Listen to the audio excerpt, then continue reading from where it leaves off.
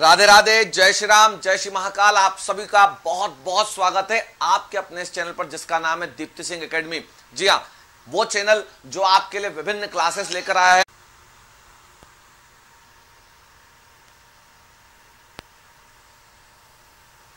Hello.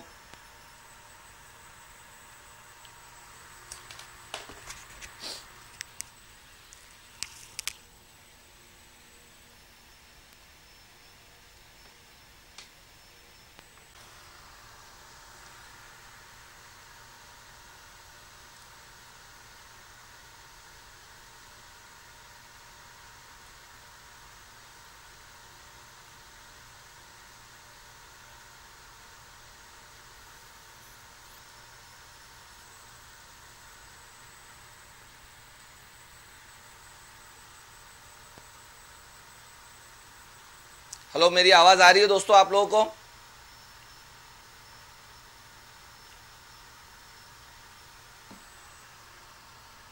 Hello चलिए दोस्तों, चर्चा करते हैं हम लोग आगे की।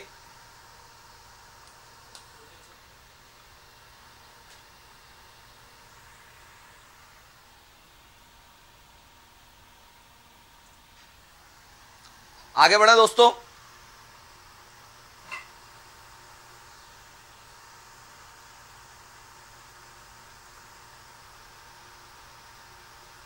चलिए आवाज़ आ रही होगी मेरी, आप सब लोगों को। अब आगे बढ़ते हैं, काफ़ी चर्चा करते हैं। तो चलिए थोड़ा सा इंटरप्शन आ रहा था बफर अब नहीं होगा, मुझे मुझे विश्वास है इंटरनेट कनेक्शन का थोड़ा सा प्रॉब्लम था।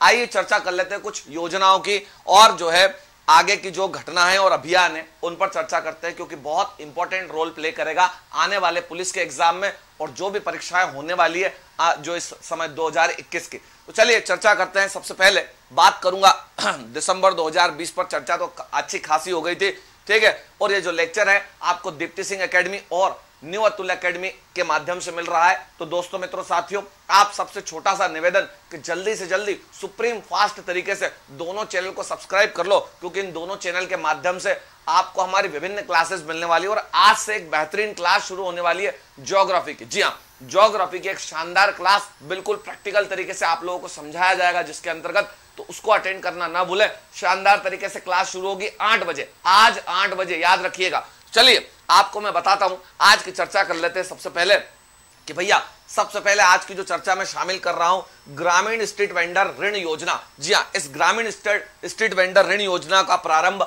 8 जुलाई 2020 को मध्य प्रदेश सरकार ने किया था और इस एक से अलग ग्रामीण कामगार सेतु पोर्टल भी लॉन्च किया गया था। इसमें क्या है, ग्रामीण सेतु कामगार पोर्टल भी लॉन्च किया था और यह सरकारी योजना उन प्रवासी मजदूरों के लिए थी जो लॉकडाउन के दौरान वापस अपने घर आए। किसमें? ग्रामीण स्ट्रीट वेंडर योजना में वापस जो अपने घर पर आए और इस योजना के अंतर्गत मध्य प्रदेश सरकार के द्वारा उनको दस हज़ार रुपए तक का ऋण जो है बिना ब्याज के उपलब्ध कराया गया और इसमें यह भी चर्चा की गई थी कि इस योजना के अंतर्गत, ग्रामीण स्ट्रीट वेंडर योजना के अंतर्गत बिना ब्याज का लोन दिया जाएगा और बिना जो है गारंटी के लोन दस हज़ार रुपये का दिया जाएगा। तो भैया, मेरे दोस्तों, याद रखिएगा, आठ जुलाई 2020 को प्रारंभ हुई और ग्रामीण से, कामगार सेतु पोर्टल भी इसके अंतर्गत लॉन्च किया गया।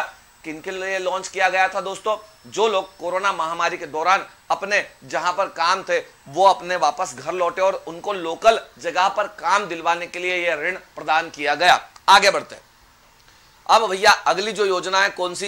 रोज़गार सेतु योजना। इस योजना का प्रारंभ 26 मई 2020 को किया गया साहब। और कोरोना वायरस संक्रमण के अंतर्गत क्या हुआ कि बड़े पैमाने पर वापसी के कारण दूसरे राज्यों से जो श्रमिक लौटे कौशल के अनुरूप उद्योगों, नियोजनों और निर्माण कार्य आदि में उनको रोज़गार हेतु प्रारंभ की गई ये योजना और मध्य प्रदेश जो पहला राज्य था, इस प्रकार की योजना को लागू करने वाला, रोज़गार सेतु योजना लागू करने वाला मध्य प्रदेश जो है, पहला राज्य था। फिर इस रोज़गार सेतु पोर्टल को उन्नति पोर्टल के साथ साझेदारी कर दी गई। इस साझेदारी से क्या फ़ायदा हुआ साहब? इस साझेदारी से यह फ़ायदा हुआ कि जिन लोगों को लोकल लेवल पर जॉब मिल सकती थी, उनको लोकल लेवल पर भी जॉब मिली और जो सेंट्रल लेवल का पोर्टल था, उससे जोड़ने के साथ ही इसमें यह फ़ायदा हुआ कि और अधिक काम तो मिलने लगा, बल्कि जो बाहर से आए हुए लोग हैं, अगर उनको भी लोकल जगह पर काम की ज़रूरत थी तो इस उन्नति पोर्टल के माध्यम से भी उनको जॉब मिला। ठीक है? तो अल्टीमेटली इस साझेदारी से फ़ायदा हुआ लोकल आम मजदूरों लोगों का। ठीक है? फिर बात करते हैं दोस्तों। रोको टोको अभियान भी काफ़ी चर्चा में रहा और अभी भी इसकी काफ़ी चर्चा हो रही है। इस रोको टोको अभियान के अंतर्गत उन लोगों को रोका गया और टोका गया कि साहब आप मास्क पहने और ये केवल उस समय जुलाई 2020 की बात नहीं है आज की भी मैं चर्चा कर रहा हूँ कि मेरे मित्रों, दोस्तों, साथियों, अभी भी मास्क बहुत ज़रूरी है और मास्क पहने, सैनिटाइजर अपने साथ रखें। जो है, मास्क अभी भी आपको बाकी सारी समस्याओं से बचाएगा। तो भैया, रोको टोको अभियान मास्क पहनने के लिए, प्रोत्साहित करने के लिए लोगों को किया गया ताकि आप जो है भीड़ भाड़ वाली जगहों पर जाएँ या कहीं पर भी जाएँ तो मास्क पहने इसलिए रोको टोको अभियान शुरू किया गया था। फिर जिन इसका, जिन सार्वजनिक स्थानों पर लोग मास्क नहीं पहनते, उनको मास्क प्रोवाइड करवाया गया और उनसे बकायदा एवज में बीस रुपये का शुल्क भी लिया गया। तो रोको टोको अभियान भी चालू किया गया था। काफ़ी चर्चाओं में रहा था हमारे मध्य प्रदेश में। फिर बात करते हैं मेरे दोस्तों, इस अभियान के बाद जीवन शक्ति योजना, जी हाँ जीवन शक्ति योजना का प्रारंभ कब किया गया? 25 अप्रैल 2020 को किया गया। इसके अंतर्गत क्या किया गया? हमारे देश, मध्य प्रदेश की जो महिला शक्ति है, महिला है उन लोगों को प्रेरित किया गया कि वो घर में बैठकर, चूँकि रोज़गार की समस्या तो उनके साथ भी थी तो वो घर में बैठकर जो है मास्क बनाने का काम करे। और इस मास्क बनाने के काम में राज्य सरकार ने ये कहा कि भैया ये जो मास्क आप बना रही हैं, इसको खरीदने का काम राज्य सरकार करेगी और राज्य सरकार आपको प्रति मास्क कितना रुपया देगी? ग्यारह रुपये का भुगतान भी करेगी। ठीक है तो इसके माध्यम से मैक्सिमम लोगों को मास्क बनाने का प्रोत्साहित किया गया, महिला शक्तियों को, हमारे मध्य प्रदेश की, और बाकायदा उसके लिए भुगतान भी किया गया ग्यारह रुपये का और इन मास्क को जो है विभिन्न तरीकों से लोगों को वितरण भी किया गया हमारे मध्य प्रदेश की राज्य सरकार के द्वारा। चलिए आगे बढ़ते हैं। आगे बढ़ते हैं भैया, आगे बढ़ते हैं। क्या, और क्या? इंतज़ार आपका अभियान। काफ़ी चर्चाओं में रहा मध्य प्रदेश में भैया। इंतज़ार आपका अभियान मध्य प्रदेश पर्यटन विभाग के द्वारा चलाया गया। कब चलाया गया था? चार जुलाई 2020 को चलाया गया। और इंतज़ार आपका अभियान कहाँ पर, किस प्लेटफॉर्म पे? फेसबुक ट्विटर प्लेटफॉर्म पर मध्य प्रदेश के द्वारा चलाया गया, जिसमें मध्य प्रदेश को पर्यटन को बढ़ावा देने के लिए इंतज़ार आपका अभियान चलाया गया, जिसमें हमारे जो विशेष पर्यटन के क्षेत्र हैं, जैसे महाकालेश्वर, पचमढ़ी, बांधवगढ़, अमरकंटक, अन्य पर्यटन स्थलों पर लोगों को आमंत्रित करने के लिए, पर्यटन को बढ़ावा देने के लिए इंतज़ार आपका अभियान काफ़ी चर्चाओं में रहा था। तो इस बात पर भी ध्यान रखिएगा। इंतज़ार आपका अभियान मध्य प्रदेश पर्यटन विभाग के द्वारा चलाया गया था। वर्तमान में हमारी पर्यटन मंत्री कौन है? वर्तमान में हमारी पर्यटन मंत्री सुश्री उषा ठाकुर जी हैं। सुश्री उषा ठाकुर जी हैं। याद रखिएगा, सुश्री उषा ठाकुर जी हैं वर्तमान में हमारे मध्य प्रदेश की पर्यटन मंत्री। और भैया, वर्तमान पर्यटन मंत्री होने के साथ साथ ये किस जगह से जो है विधानसभा की सदस्य है? किस जगह से विधायक है साहब? ये महू से विधायक है। ठीक है? याद रखिएगा। इससे पहले यह जो है, राजवाड़ा, इंदौर से जो है विधायक हुआ करती थी, अब जो है महू से विधायक है। ठीक? चलिए आगे बढ़ते हैं दोस्तों। इंतज़ार आपका अभियान के बाद चर्चा करते हैं। एक मास्क, अनेक ज़िंदगी अभियान। भैया एक मास्क, अनेक ज़िंदगी अभियान जो है, शहरी विकास, आवास मंत्री भूपेंद्र सिंह द्वारा जन जागरूकता, एक मास्क, अनेक ज़िंदगी अभियान का शुभारंभ किया गया, जिसे एक से पंद्रह अगस्त के मध्य चलाया गया और जिसके माध्यम से मास्क बैंक की भी स्थापना की गई और गरीब लोगों को इसके माध्यम से मास्क का दान किया गया, वो भी निशुल्क और ये प्रेरित किया गया। भैया कि एक मास्क से अनेक ज़िंदगी बच सकती है। आप अपने आप को सुरक्षित रखिए। अनेक लोगों की सुरक्षा आपके एक मास्क पहनने से हो सकती है। चलिए आगे बढ़ते हैं मेरे दोस्तों। अब अगला अभियान कौन सा था?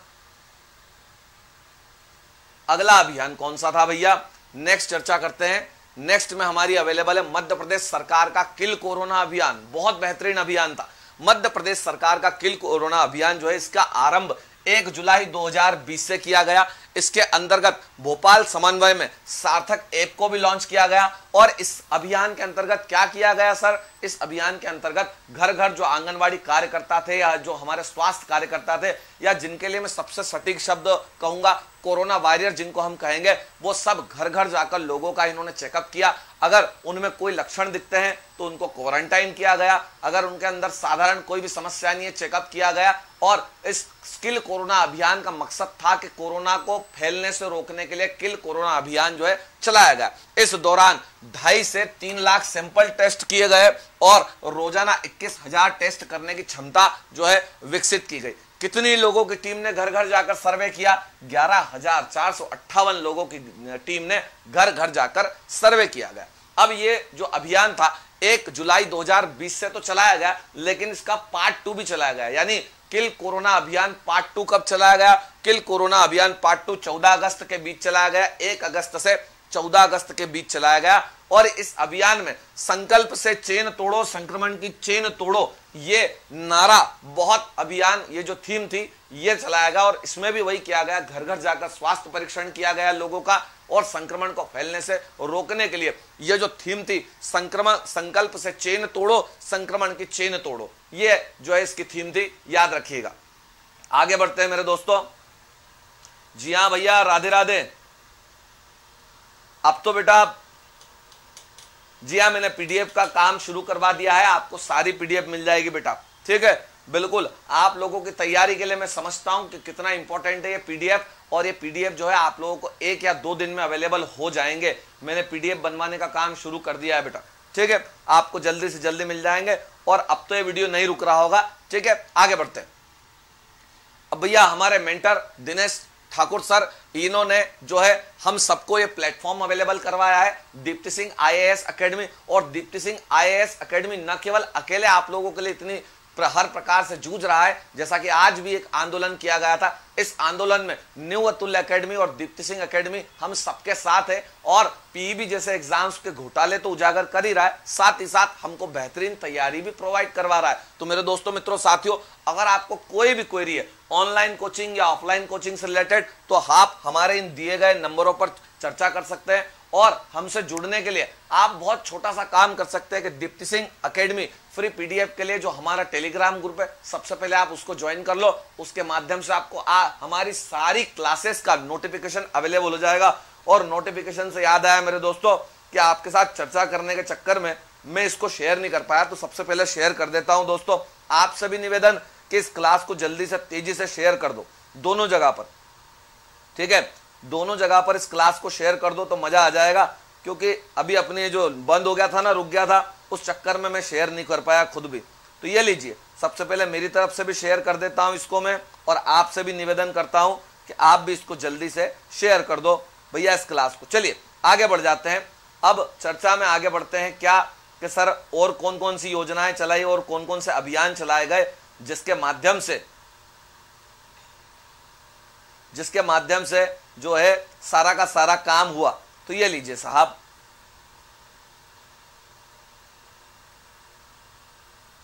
जी नहीं बेटा, रोज़ाना सात बजे मैं क्लास लेता हूँ और आपको अगली क्लास जो मेरी मिलने वाली है, अब से हिस्ट्री का क्लास इस पर व्यवस्थित मिलेगा आपको। ठीक है, चलिए, दीप्ति सिंह एकेडमी के माध्यम से मैंने जैसा कि बताया कि टेलीग्राम ग्रुप ज्वाइन कर लो और जो लिंक मैं प्रोवाइड करवा रहा हूँ, उसके द्वारा आप करें। कई वर्षों से बेहतर सेवाएँ दे रहा है Deepti Singh IAS academy, PEB के क्षेत्र में। अब एमपीपीएससी का क्लास भी शुरू करने वाला है आप लोगों के लिए दोस्तों। तो बिल्कुल इस सुनहरे मौके को जाने मत दो। आपके अगर कोई भी क्वेरी है तो अगर आप व्हाट्सएप के माध्यम से चर्चा करना चाहते हैं तो इस नंबर पर संपर्क करें। और अगर कॉल करना, बात करना चाहते हैं तो इस पर संपर्क करें। आपकी ऑनलाइन, ऑफलाइन कोचिंग की जो भी क्वेरी है, सारी की सारी रिजॉल्व की जाएगी। तो चलिए आगे बढ़ते हैं। हमारे अगले टॉपिक पर। कि दीदी वाहन सेवा कहाँ चालू गई? दीदी वाहन सेवा योजना। भैया मध्य प्रदेश के आदिवासी बहुल क्षेत्र जनसंख्या वाले जाबुआ ज़िले में ग्रामीण आजीविका मिशन की महिलाओं द्वारा दीदी वाहन सेवा शुरू की गई। इस योज इस दीदी वाहन में क्या हुआ है कि सुरक्षित प्रसव के लिए शुरू की गई है और विशेष रूप से आदिवासी बहुल क्षेत्रों में दीदी वाहन सेवा शुरू की गई। और वो भी आपको बता दूँ, बिल्कुल निशुल्क। ठीक है? और इस फ्री वाहन सेवा के अंतर्गत जो है ग्रामीण आदिवासी क्षेत्रों में जो महिलाएँ रह रही है, उनको सुरक्षित प्रसव के लिए, अस्पताल तक व्यवस्थित पहुँचाने के लिए दीदी वाहन सेवा शुरू की गई। कहा? झाबुआ ज़िले में। अब भैया और आगे बढ़ते हैं। थैंक्स मॉम अभियान।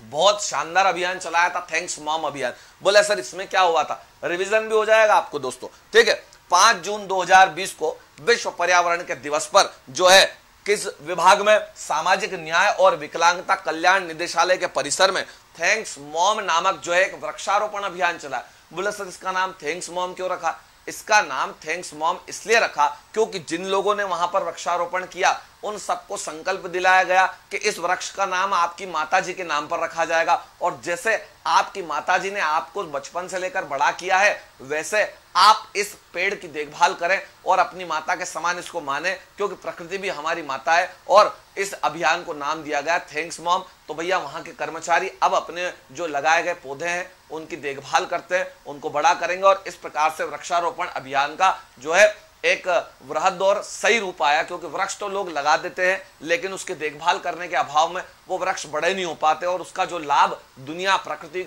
और सबको मिलना चाहिए, वो मिलता नहीं इसीलिए थैंक्स मॉम अभियान चलाया गया था। ठीक है, आगे बढ़ते हैं। फिर क्या हुआ साहब कि मध्य प्रदेश संजीवनी मोहल्ला क्लिनिक चलाया गया। ये मध्य प्रदेश संजीवनी मोहल्ला क्लिनिक जो है ना, किस तर्ज पे चलाया गया था मैं बताऊँ आपको, कॉपी कहाँ से किया गया था इसका कंसेप्ट दिल्ली के मोहल्ला क्लिनिक से कंसेप्ट कॉपी किया गया था, जिसके माध्यम से राज्य में लोगों को सस्ती और निशुल्क चिकित्सा सेवा दिलाने के लिए मध्य प्रदेश में संजीवनी मोहल्ला क्लिनिक शुरू किया गया। और सबसे पहला, इंदौर के निपानिया क्षेत्र के इंदौर के निपानिया क्षेत्र में राज्य के पहले संजीवनी क्लिनिक का उद्घाटन किया गया। मध्य प्रदेश में राज्य के पहले क्लिनिक का उद्घाटन इंदौर के निपानिया में किया गया। और ये संजीवनी मोहल्ला क्लिनिक की शुरुआत 7 दिसंबर 2019 से की गई। याद रखिएगा मेरे दोस्तों। चलिए आगे बढ़ते हैं। बहुत अच्छे भैया। कोई बात नहीं, ठाकुर यूबी साहब, कोई बात नहीं।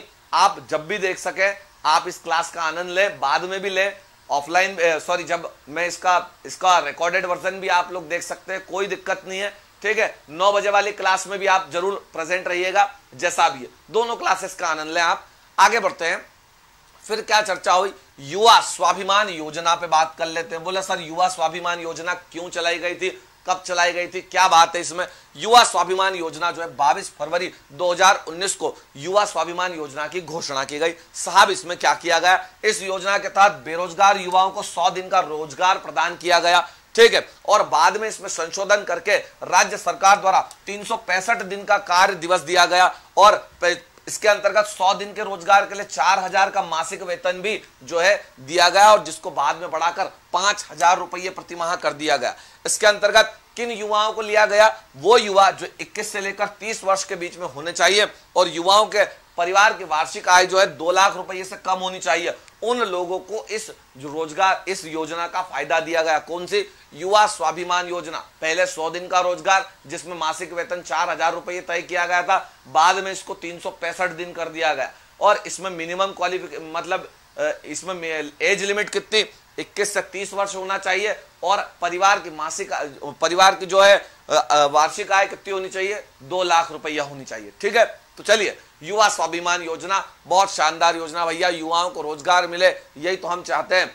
उसके बाद महिला सशक्तिकरण के लिए मध्य क्षेत्र विद्युत वितरण कंपनी की एक शानदार योजना, निष्ठा विद्युत मित्र योजना। बोले, इस निष्ठा विद्युत मित्र योजना में क्या किया गया? इस निष्ठा विद्युत मित्र योजना में क्या किया कि मध्य क्षेत्र विद्युत वितरण कंपनी, जिसका मुख्यालय जबलपुर में है उस कंपनी ने जो है राज्य के 16 जिलों में सबसे पहले इस योजना को लागू किया। बोले, राज्य के 16 जिलों में भी कौन कौन से संभाग में? भोपाल, नर्मदापुरम, ग्वालियर और चंबल संभाग के 16 जिलों में इसको लागू किया। बोले, इसमें क्या किया सर महिला सशक्तिकरण के नाम पर इन्होंने क्या किया कि भैया, बिजली की चोरी रोकने के लिए, बिजली के बिल वसूल करने के लिए और बिजली के नए कनेक्शन बांटने के लिए गाँव गाँव में क्या किया? महिला मित्रों को नियुक्त किया गया और उन महिला मित्रों को नाम क्या दिया? महिला मित्रों को नाम दिया, निष्ठा विद्युत मित्र। निष्ठा, विद्युत मित्र जो है, इन महिलाओं को नाम दिया गया। अब इन महिलाओं का काम क्या था? गाँव गाँव जाकर लोगों को बिजली चोरी न करे, इसके लिए प्रेरित करना, नए कनेक्शन के लिए उनको प्रोत्साहित करना,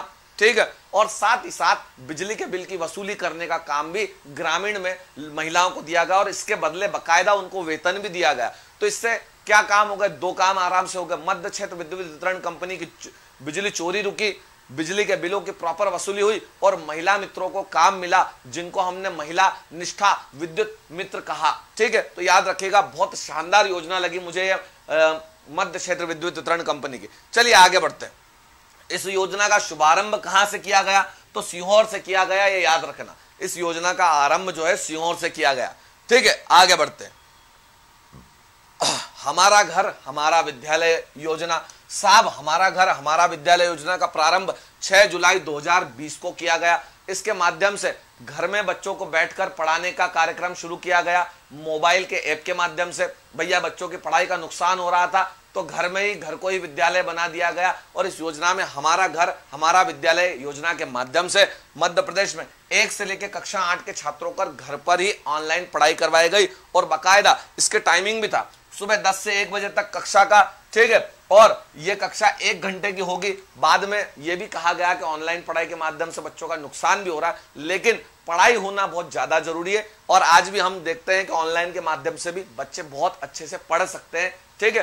तो हमारा घर, हमारा विद्यालय योजना ऑनलाइन शिक्षा को, के माध्यम से बच्चों को पढ़ाई करवाई गई इस योजना के अंतर्गत, ठीक है? आगे बढ़ते हैं। भैया, आप क्या हुआ?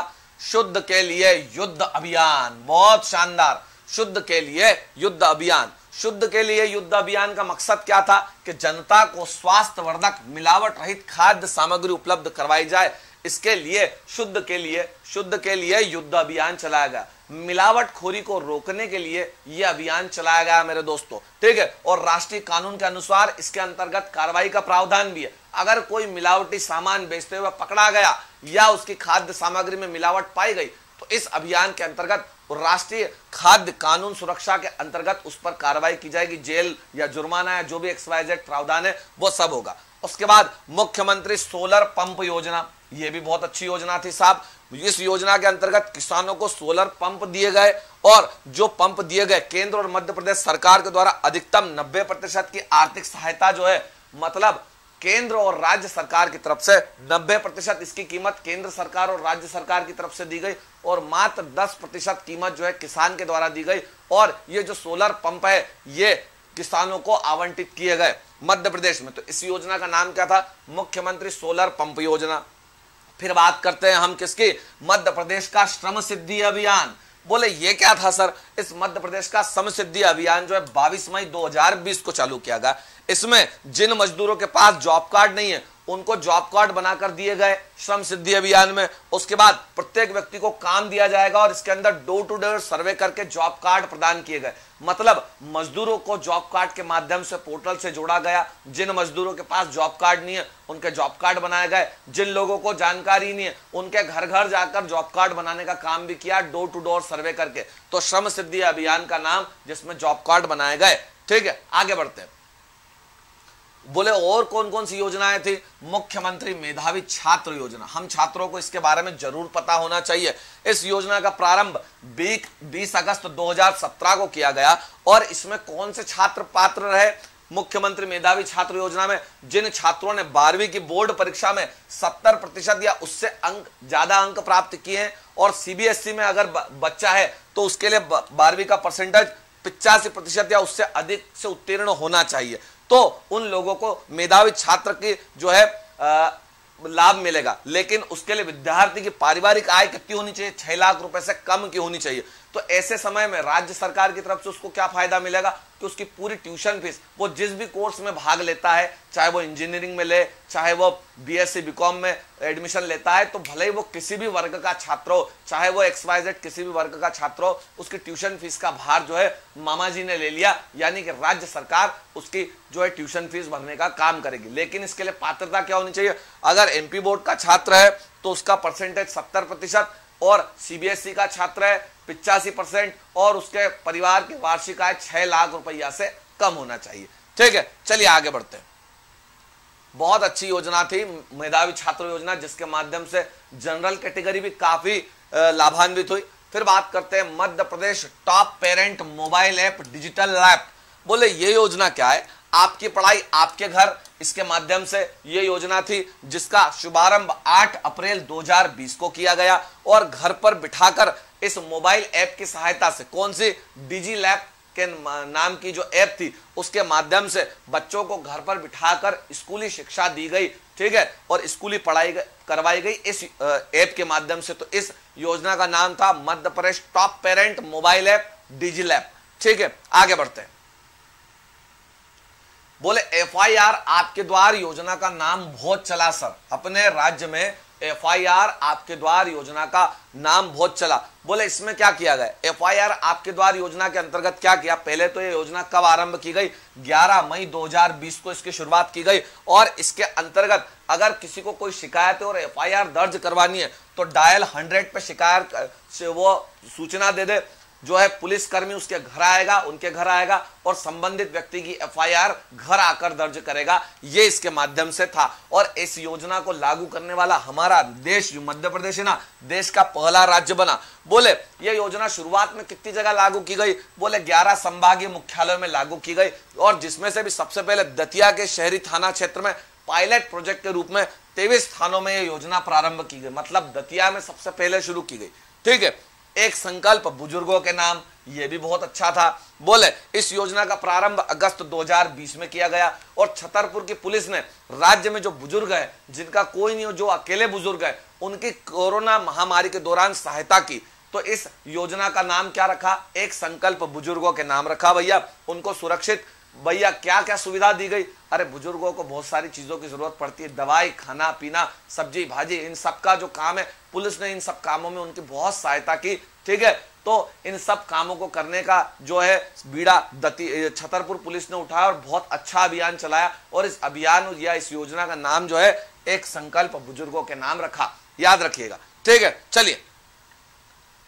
अगला जो है, योजना हमारी, पीएम स्ट्रीट वेंडर्स आत्मनिर्भर निर्भर पीएम स्वनिधि योजना। बोले, इस पीएम स्वनिधि योजना की शुरुआत जो है 24 मार्च 2020 को की गई और इसमें जो रास्ते पर रेहड़ी या पथ विक्रेता होते हैं, उनको एक साल के लिए दस हज़ार रुपए तक की कार्यशील पूंजी, वो भी पूरी तरह से ब्याज मुक्त ऋण प्रोवाइड करवाया गया। ठीक है, फिर भामाशाह योजना। भामाशाह योजना बोले, बहुत जोरदार योजना थी सर। बोले, इसमें क्या किया? ईमानदार टैक्स पेयर थे ना जो अपने मध्य प्रदेश के, भामाशाह योजना में उन ईमानदार टैक्स पेयर को क्या है? प्रोत्साहित करने के लिए, लोगों को प्रोत्साहित करने के लिए पुरस्कृत किया गया। इस भामाशाह योजना में ईमानदार टैक्स पेयर को जो है पुरस्कृत करने का काम किया गया। चलिए, आगे बढ़ते हैं। नेक्स्ट जो योजना है, वो कौन सी है? मुख्यमंत्री कोविड 19 योद्धा कल्याण योजना। बोले, सर, दुनिया, इतना काम किया है, सरकारी कर्मचारी ने भी, कि अब जो है सरकारी कर्मचारी को कोई भी गलत नहीं समझेगा। बोले क्यों? क्योंकि इन सारे कर, सरकारी कर्मचारियों ने योद्धा के रूप में काम किया कोविड 19 के दौरान और इन लोगों को नाम भी हमने दिया कोविड 19 का योद्धा। ठीक है? तो भैया इनके कल्याण के लिए भी मुख्यमंत्री शिवराज सिंह चौहान साहब ने एक योजना बनाई। इस योजना का आरंभ क्या कब से माना गया? 30 मार्च 2020 से माना गया। और इनके अंतर्गत कौन लोग पात्र रहे? भैया सब, लोक स्वास्थ्य एवं परिवार कल्याण, चिकित्सा, शिक्षा, आयुष विभाग, ऊर्जा विभाग, नगरीय विकास के सभी सफ़ाई कर्मी राजस्व ग्रह नगरी विभाग, शहरी और स्थानीय निकाय सहित अन्य विभाग के कर्मी, जिन्होंने कोविड 19 महामारी के दौरान अपनी सेवाएँ दी लोगों को बचाने में क्वारंटाइन करने में उनको स्वास्थ्य सुविधाएँ पहुँचाने में एक कोरोना योद्धा बनकर काम किया। वो सब इस योजना के पात्र रहे। बोले इसके अंतर्गत क्या किया गया? इसके अंतर्गत उनको 50 लाख रुपए का बीमा प्रदान करवाया गया। ठीक है? यानी इसके अंतर्गत अगर गलत उनको कुछ हो जाता है दुर्घटना बस तो उनके परिवार को 50 लाख रुपए का अनुदान देने का या भुगतान देने का काम किया जाएगा मुख्यमंत्री कोविड कल, 19 कल्याण योजना में। ठीक, आगे बढ़ते हैं दोस्तों। मुख्यमंत्री जन कल्याण योजना, संबल योजना, बोले बहुत शानदार योजना थी। इस योजना का प्रारंभ जो है, पाँच मई 2020 को किया गया और इस योजना में असंगठित श्रमिकों को लाभान्वित करने के लिए एक हेक्टेयर से कम भूमि धारक हो, जो है, और जो आयकर दाता नहीं है उन सबको इसका लाभ मिला। बोले, इस योजना के अंतर्गत क्या किया गया? जो दूसरे राज्य में फंसे हुए थे, उनके बैंक खातों में एक हज़ार रुपये ऑनलाइन भेजे गए। ठीक है, मुख्यमंत्री जन कल्याण योजना, संबल योजना में जो लोग, जिनके पास कम भूमि है, खेती की कम भूमि है, एक हेक्टेयर से कम भूमि है, जो आयकर दाता भी नहीं है, उन लोगों के खाते में एक हज़ार रुपये मध्य प्रदेश शासन की तरफ़ से प्रोवाइड करवाए गए। ठीक है, आगे बढ़ते हैं दोस्तों। फिर कौन सी योजना है? पंख अभियान। बहुत शानदार अभियान था। बालिकाओं के लिए विशेष रूप से चलाया गया। और बोले, बालिकाओं के लिए क्या चलाया गया? विशेष रूप से 24 जनवरी के दिन राष्ट्रीय बालिका दिवस पर बेटी बचाओ, बेटी पढ़ाओ योजना के अंतर्गत पंख अभियान की शुरुआत की गई। पंख अभियान, पंख की स्पेलिंग होती है P A N K H जिसमें पी का मतलब होता है प्रोटेक्शन ए का मतलब होता है अवेयरनेस एन का मतलब होता है न्यूट्रिशन के का मतलब होता है नॉलेज और एच का मतलब होता है हेल्थ एंड हाइजीन यानी इस योजना के माध्यम से उनको प्रोटेक्शन हाइजीन बेहतर स्वास्थ्य सुविधा, बेहतर शिक्षा, इन सब चीज़ों का समावेश एक ही योजना में कर दिया गया था और इस एक अभियान में कर दिया गया था। पंख अभियान और विशेष रूप से बालिकाओं के लिए चलाई गई ये योजना और अभियान था, जिसके अंतर्गत उनका पूरी तरह से कल्याण, यानी कि शिक्षा, उनकी सुरक्षा, उनकी हेल्थ उनका प्रोटेक्शन और इन सारी चीज़ों का समावेश एक अभियान में, पंख अभियान में कर दिया गया था। बोले, कब से शुरू किया गया था? राष्ट्रीय बालिका दिवस के दिन 24 जनवरी के दिन। ठीक है, आगे बढ़ते हैं। स्वच्छ सर्वेक्षण 2020 के लिए वितरित पुरस्कार। बोले, स्वच्छ सर्वेक्षण में इंदौर ने चौथी बार बयालीस सौ बयालीस शहरों को पछाड़ते हुए पूरे भारत का सबसे स्वच्छ शहर बना। बोले, भोपाल जो है टॉप टेन में शामिल हो। होने के साथ ही श्रेष्ठ स्व समर्थ राजधानी के रूप में भी चयनित हुआ और भोपाल शहर को विगत वर्ष 19वीं रैंक मिली थी, लेकिन इस बार उसको सातवें स्थान पर रखा गया। बोले, सर्वश्रेष्ठ प्रदर्शन करने वाले सौ से अधिक नगरीय निकाय वाले राज्यों की श्रेणी में मध्य प्रदेश को तीसरा स्थान मिला और उज्जैन को नवाचार कैटेगरी में बधाई से सफ़ाई नवाचार के लिए प्रथम स्थान मिला।